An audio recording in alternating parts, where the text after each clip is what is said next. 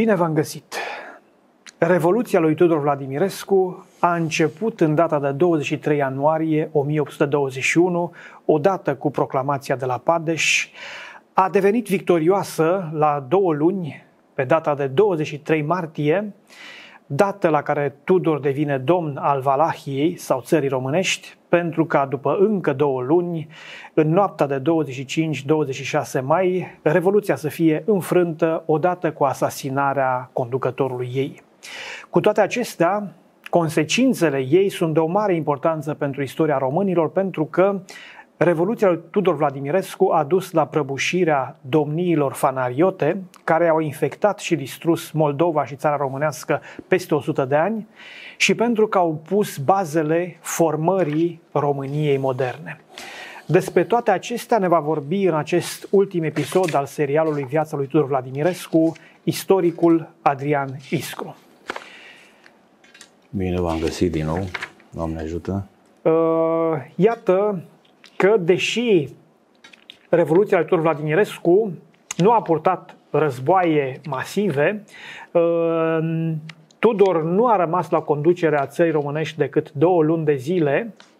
Cu toate acestea, un an mai târziu, Imperiul Otoman, care a rămas mai departe la butoanele țărilor românești, decide să nu mai numească domni fanarioți, ci domni pământeni pentru a gestiona, uh, pentru a preveni ca astfel de evenimente să se repete. Să da. începem de aici acest uh, episod.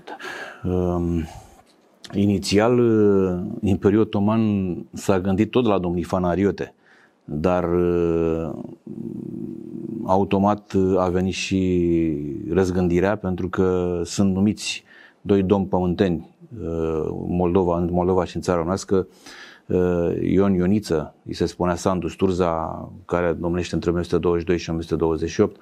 În Moldova? Și, în Moldova și Grigore Ghica în țara românească aceeași perioadă. Uh, de aici înainte domniile pământene sunt continue până la 1866, când este înlăturat Cuza și a dus regele Carol I. Din păcate, Uh, nu am scăpat de turci și n-am scăpat de alți fanarioți, boieri care da. uh, au trăit aici deja de generații, aduși da. de prima colonizare, să zicem așa, grecească, fanariotă, de la începutul secolului al XVIII-lea, uh, da? și care au pus mâna pe pământuri, au da, devenit da, mari, uh, mari importanți, moșieri. mari moșieri, au rămas mai departe aici și au continuat cu anumite fără de legi, chiar da. și sub domniile pământene. Da.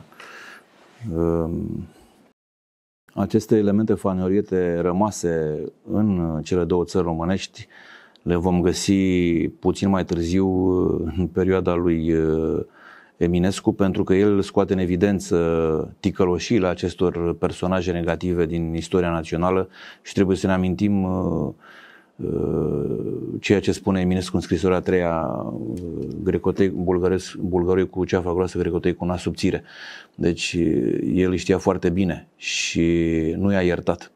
Nu i-a arătat sub nicio formă și a scos în evidență cu orice ocazie a avut-o, mai ales că unii dintre ei participaseră și la detonarea lui Cuza. Dar toată această perioadă de până la Eminescu este dominată de aceste elemente care au rămas pe teritoriul celor două țări române și care, într-adevăr, au acumulat, unii dintre ei au acumulat uh, moșii importante. Uh, așa cum spuneam, Tudor a vrut să uh, îi dea țării românești o Constituție. Nu s-a reușit acest lucru, însă relativ în puțină vreme apar niște regulamente organice care se, cumva sunt un fel de Constituție, dar da. nu prea. Însă înainte de asta cred că este important să vorbim despre un boier moldovean care la 27 de ani pune uh, domniei în brațe proiectul unei Constituții foarte bine elaborate. Știu că uh, ai acasă acest document da. Dă-ne mai multe detalii.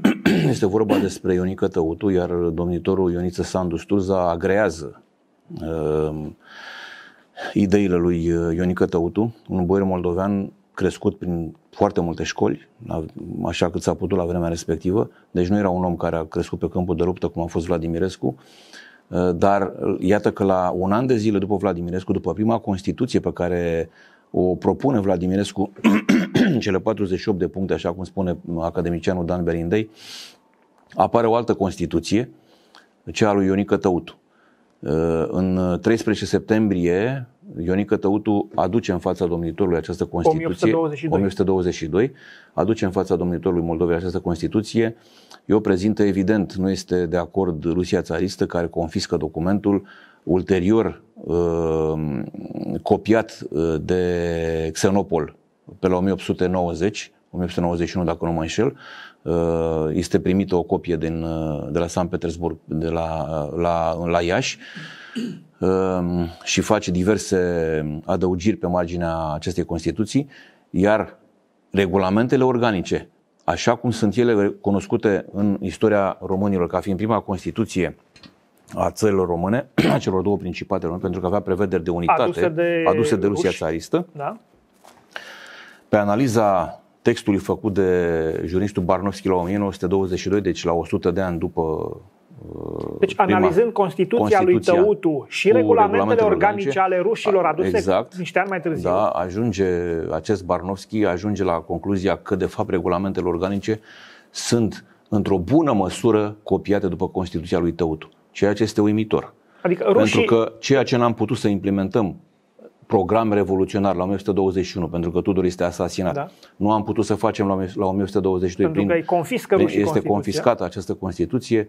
Uh, ni se prezintă regulamentele organice și este într-adevăr prima Constituție a Principatelor, uh, ni se prezintă la 1800, la 1828, după 1828, ca fiind uh, o creație a Imperiului pentru noi. Ca să ne civilizeze. Da, este e, un punct de vedere. Dar, așa cum spui, deci aceast, aceste regulamente organice aduse de ruși ca să pună bazele unei Constituții autohtone sunt copiate în mare măsură după Constituția confiscată de ruși în 1822 da. cu unele adăugiri. Cu unele adăugiri, da. evident.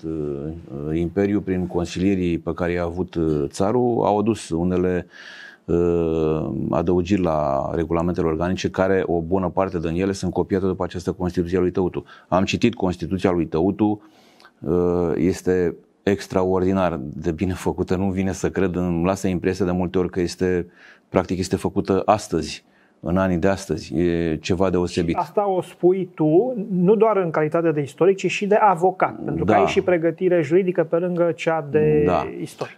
Este foarte bine făcută. Barnovski o și detaliază în lucrarea pe care o are. E adevărat una de mică, mici proporții, dar este o lucrare excepțională. Pe mine m-a, m-a lămurit definitiv mă rog, este un alt punct de vedere, un alt subiect pe care îl vom discuta anul viitor mai detaliat. Deci cam asta este treaba cu uh, domniile fanariote și cu Constituția sau regulamentele organice care se aplică da. niște ani după Revoluția lui Vladimirescu în țările românești. Cum percepe populația uh, moartea lui Tudor, înfrângerea Revoluției, ce se știe despre uh, starea de spirit a oamenilor din țara românească, din Moldova, din Ardeal? Ehm, represiunile în Ardeal eh, nu mai insist asupra lor eh, din aceeași lipsă de timp, dar au fost dure. Eh, arestări, mutilări, bătăi, pedepsele erau groaznice, primeau câte 50 până la 500 de bute pe spinare într-o perioadă de timp, adică erai obligat să vii la jandarmul local și în, într-un anumit timp să și să, ca, da, să, ca să primești următoarele bâte, ca să uh, îți împlinești pedepsa. Ocna era una dintre pedepsele groaznice. Nu mai intru, insist asupra lui Ilarion Alargeșului, face pomeniri despre, vis-a-vis de moartea lui uh, Vladimirescu. Sunt făcute o serie de slujbe de pomenire pentru odihna sufletului Vladimirescu. Uh, mai târziu și Gheorghe Lazar trece la cele veșnice la el în sat uh, în 1823. Memoria îi păstrează memoria uh, națiunii păstrează amintirea lui Vladimirescu uh, la nivel înalt, la nivel academic, putem spune. Dar iar... la nivel popular, Oltenia, locul de unde a plecat el, cum, uh, ce făcea Oltenia, ce spuneau? Singura, uh, au, încercat o, au încercat o mișcare nouă, revoluționară prin Ian Cujianu, puțin mai târziu, dar Ian Cujianu deja era pus sub uh, vizorul porții otomane, sub, nu, putea să mai, nu mai putea să facă mare lucru. Da, a și fost condamnat la moarte la un moment dat uh, pentru agitație, pentru faptul că a încercat să ridice populația la, uh, la o nouă revoltă. Au mai fost și alți doi panduri care au încercat la fel și au fost executați. Uh, Tudor Vladimirescu rămâne un, un stâlp uh, al națiunii române, o nestemată a națiunii române din toate timpurile istorice, pentru că datorită lui, a jertfei lui, se pune temelia statului român modern, pe care Cuza mai târziu va ridica edificiul care s-a numit România din 1862. Este cel care așează temelia, iar târnosirea acestei temelii o fac ierarhii bisericii, iar cel mai de seamă a fost Ilarion al Argeșului. Târnosirea? Ce înseamnă? Târnosirea că... înseamnă sfințirea acestei temelii, pentru că la Revoluția de la 1821 participă și ierarhi ai bisericii, iar cel mai de seamă este Ilarion al Argeșului, în mormântarea mănăstirii Antim. Nu uitam, să nu uităm uh, călugării mănăstirii uh, lainici care l-au adăpostit pe Tudor, să nu uităm mănăstirea Tismana, care iarăși l-a avut în gazdă pe Tudor Vladimirescu când a, noaptea de 22 spre 23 ianuarie, când a definitivat proclamația de la Padeș, plus celelalte mănăstiri din Oltenia pe care el le-a avut în, uh, în grijă și pe care le-a și înarmat, le-a le-a întărit cu armament și zaharihale, cum spunea el la un moment dat.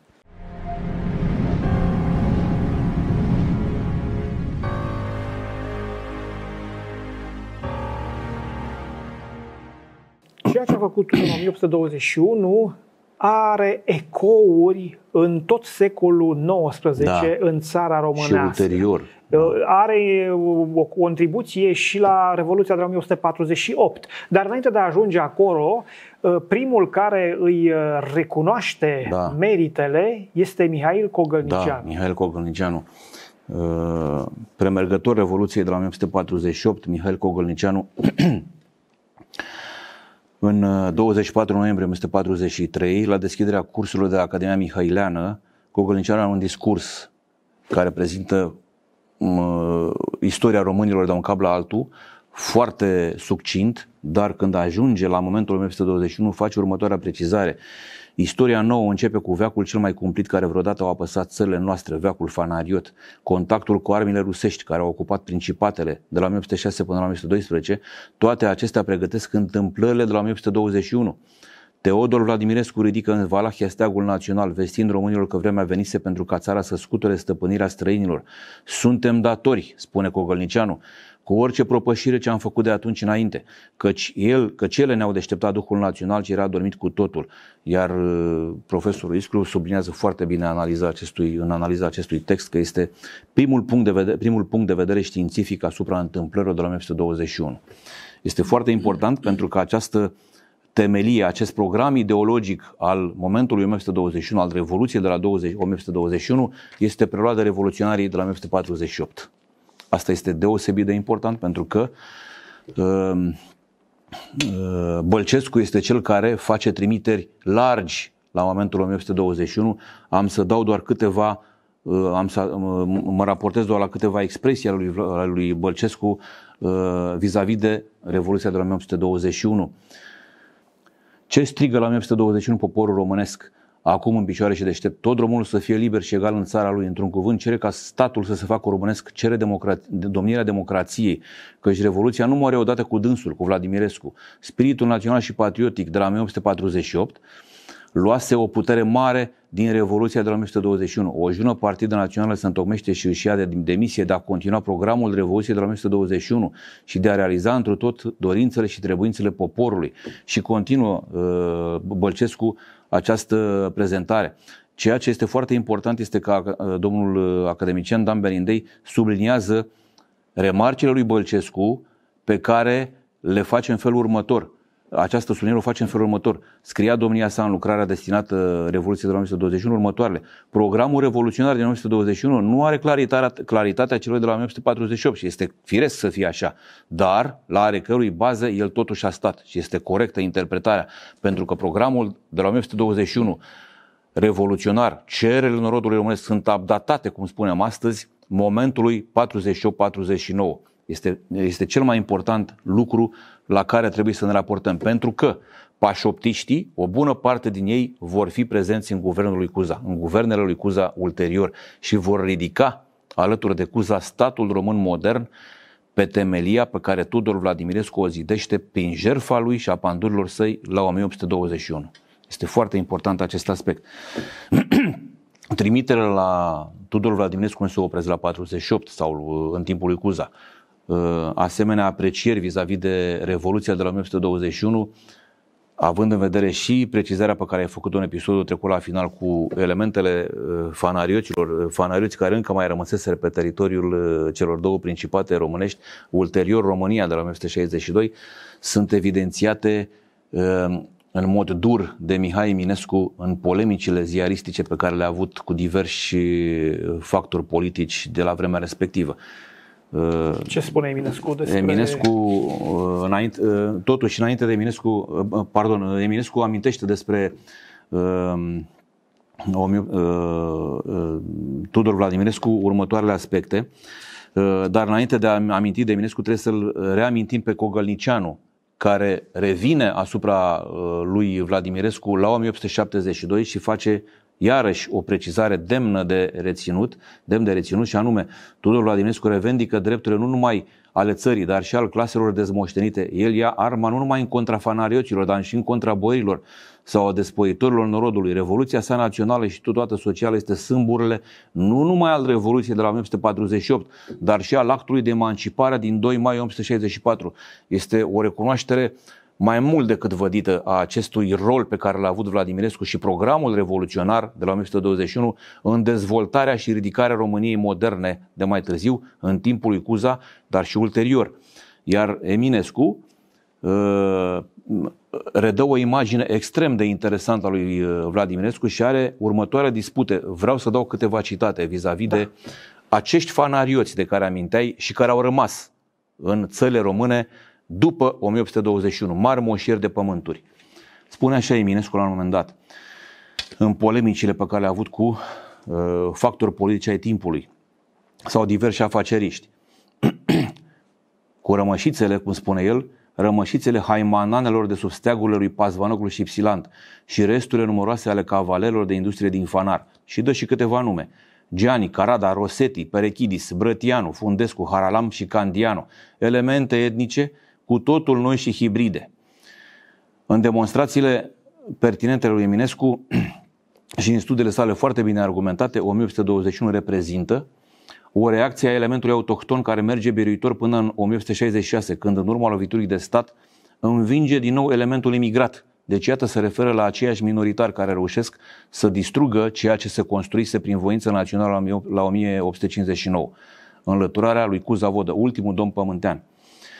Ca o concluzie a multor precizări făcute de Eminescu pe această temă, tot același Eminescu spune Contralor voștri uh, este vorba despre uh, disputele între partidele politice de la vremea respectivă. Contralor voștri s-a ridicat la 1921 că cine dacă nu voi reprezintă astăzi în această țară elementul împilator, elementul care se îmbogățește din politică, din sudoarea tuturor, fără muncă și fără merit. Astfel s-au ridicat liberalii, hulind trecutul glorios al acestei țări și disprețuind tot ce era românesc și cătând să pui în loc idei străine ca niște adevărați străini.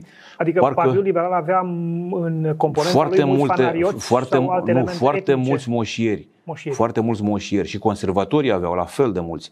E, aici a fost o problemă foarte delicată pentru că uh, ceea ce reușise Cuza să facă în perioada domniei sale, mai ales prin uh, legea, uh, prin uh, secularizarea averilor mănăștine și legea proprietării de la 1964-63 și apoi 64 legea proprietării, spune un istoric rus la un moment dat, a plătit cu tronul. Și într-adevăr, pentru că vizau pământurile marilor moșieri care se regăseau în toate aceste formațiuni politice existente la vremea respectivă sau ulterior după 76 când s-au constituit adevărat, acestea erau niște grupări politice, niște grupări, uh, niște mișcări politice. Ulterior s-au constituit partidele politice după 1960. Ceea ce este interesant este faptul că după aducerea pe tronul uh, regatului României al lui Carol I, Carol I uh, recunoaște într-un anumit fel meritul da. lui Vladimirescu. Da, da, da, da, da, exact. E un aspect interesant de care da, te rog să sigur ne dai că da. Sigur că da. Înainte de a pomeni de Carol I și momentul respectiv, care este foarte bine punctat de tine, uh, trebuie să amintim aprecierea unui contemporan de de fapt, unui contemporan al nostru, un, un om de litere extraordinar, Marin Sorescu, da, care spune așa, despre Eminescu, scor monitor împătimit al istoriei noastre, autorul Luceafărului, necruțător cu contemporane, avea de ce să fie fascinat descoperindu-l pe Tudor. El a moștenit de la Pandur neîncrederea în elementul superpus, neproducător, precum și intuiția acestuia că nu turcii reprezintă pericolul major al ființei românești, ci lipitorile fanarului, așa cum le descoperise Eminescu și le văzuse în epoca sa. În 1982, din ordinul lui Carol I, pentru că vorbeam de documentele programatice și unul dintre ele este drapelul Revoluției, de drapelul cel mare al Revoluției de la 1921. Din ordinul lui Carol I, drapelul Revoluției de la 1921 este adus în țară, dintr-o delegație a Academiei Române, condusă de Petricei cu HD, care îl preia de la Craiova, de la uh, fiul uh, fostului stegar al lui Tudor Vladimirescu. Uh, dacă ne amintim bine, după 1990, când uh, uh, rămășițele pământești ale ostașului necunoscut au fost aduse înapoi la București, peste tot pe unde au trecut, pe unde a trecut acest cortegiu, uh, oamenii l-au întâmpinat cu flori.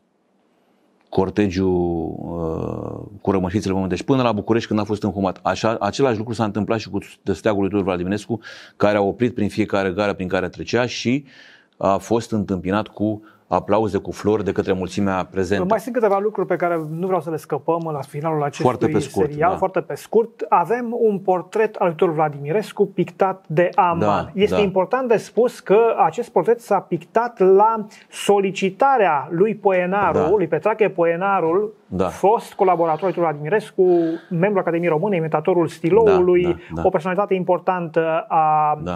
uh, românilor. Uh, în același timp, știm că George Coșbuc a dedicat un poem, Da. uh, că multe state românești, Oltenului Tudor. după al doilea război mondial, în special, au purtat numele Tudor Vladimirescu. Uh, Avem în anul uh, 1971 Da. un moment important când la nivel național se sărbătoresc 150 de ani de la Revoluția Nu, nu, 50 de ani. 50 de ani, la 1870. 1971, 1971, da. da. 150 de ani de la Revoluția Tudor Vladimirescu. Da. Anul acesta s-au împlinit 200 de ani. Ce a făcut statul român, din câte știi tu, în legătură Eh, administrația cu statului, că- Administrația română. E vorba de administrație. Ok. Fac, trebuie să facem o S-a diferență. întâmplat ceva anul acesta? E vreun la mod- eveniment la, major? La nivel oficial, nu. La nivel oficial, nu. L-am auzit pe președintele Iohannis vorbind despre Tudor Vladimirescu. Nu, nu, nici nu cred că, nu, nici nu vreau să comentez. Ministrul subiect. Culturii nu, sau... Nu, uh, nu, nici nu. Da, în fine. Uh, Este Este jenant. da, nu. jenant că la două secole de la Revoluția Tudor Vladimirescu, la nivel oficial, nu s-au întâmplat lucruri foarte importante care să marcheze acest moment important care pune bazele României moderne. Este Da. punctul de plecare al uh, României Da, moderne, bineînțeles. pentru că a influențat Revoluția de la 1848, a influențat chiar și unirea Construcția principatelor statală. române sub Cuza. Da, construcția statală de la, cin- de la 59. Da. Uh, și iată că la 200 de ani autoritățile românești nu se învrednicesc să facă, să marcheze ceva. Așa cum uh, uh, zilele trecute a fost uh, că noi, uh, episodul acest, acest serial se difuzează la câteva luni după înregistrarea lui, dar uh, zilele trecute a fost uh, ziua morții lui Eminescu. Da. Ieri. Nu am auzit uh, ca președintele Iohannis sau vreo altă uh, personalitate importantă a statului român să facă vreo trimitere la uh, acest moment, la Nu. Eminescu. Nici nu o să Ceea fac. ce spune multe despre modul în care sunt tratate reperele identitare ale românilor. Dacă mai ai în final Să ceva de încheiem uh, spus. foarte pe scurt cu câteva dintre am, uh, uh, mem- din, cu câteva dintre uh, manifestările care au avut loc uh, vis-a-vis de Revoluția de de la 1921 în anii de după primul război mondial. Și anume este vorba despre omagierea care s-a făcut lui Vladimirescu la Târgoviște în 1921 și trebuie să ținem cont de faptul că în 1921 se împlineau exact 100 de ani de la Revoluția din 1921, iar uh, națiunea română era nu doar sărăcită, dar și îndoliată după primul război mondial și cu toate acestea găsește resursele spirituale de a omagia pe unul dintre mari mucenici ai neamului, pe Tudor Vladimirescu, pe chiar la Târgoviște, unde a fost asasinat, fotografiile de la vremea respectivă arată că această curte era plină, cred că erau mii de oameni. Spunea Nicolae Iorga tot în 1921 următoarele despre Vladimirescu. Noi, neamul, neamul românesc, suntem datori cu o lacrimă la pomenirea sau pre, pomenirea prăznuirea acestui mare mucenic al națiunii române și al bisericii strămoșești. Dumnezeu să-l ierte și cu drepții să-l numere. Așa Amin. să fie. Și Amin. cred că, sau sper că acest serial despre Tudor Vladimirescu uh, îi face pe cei care l-au urmărit să înțeleagă mai bine uh, mărimea acestei personalități din istoria noastră. Pentru că Tudor Vladimirescu, din păcate, este puțin cunoscut. Foarte puțin. Majoritatea românilor nu știu decât să lege de Revoluția la 1821, dar nu înțeleg ce este acea revoluție și care au fost consecințele ei. Rămâneți cu bine, ne vedem în curând cu un alt serial pe temă istorică. Toate cele bune!